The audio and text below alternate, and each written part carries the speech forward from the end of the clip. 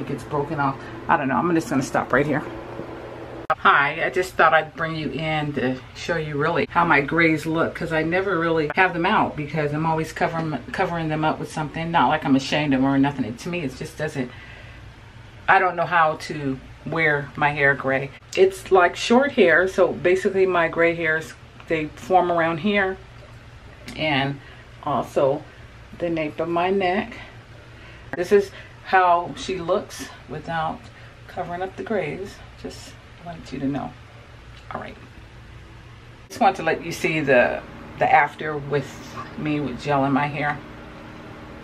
All right, I'm about to go eat dinner. It's late. Bye.